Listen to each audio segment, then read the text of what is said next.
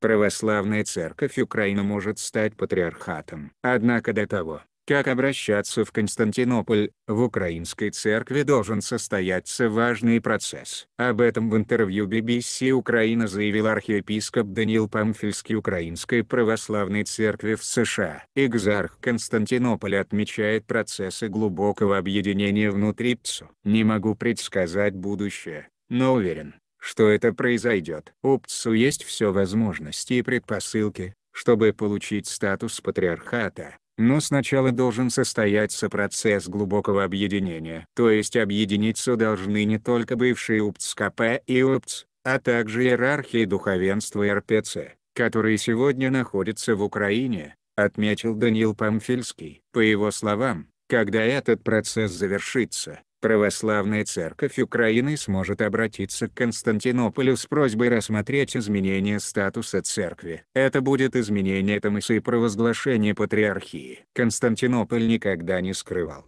что это вполне возможно, добавил архиепископ.